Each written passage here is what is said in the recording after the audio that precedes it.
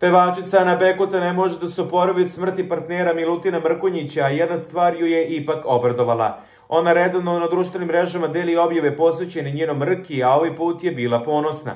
Pevačica je na televiziji gledala dodolu nagrada povodom Dana državnosti Srbije, a Milutin je postupno dobio Karadžorđevu zvezdu prvog stepena koju je umesto njega primio Ivica Dačić. Milutin Mrkonjić, kako mu sada na grobu piše, heroj obnove zemlje. Celog svog života je gradio, nikad nije rušio. Celog života pomagao i trudio se da nikada ne povredi nikoga. Celog svog života bio posvećen, celog svog života hteo bolje i više za celo društvo i državu.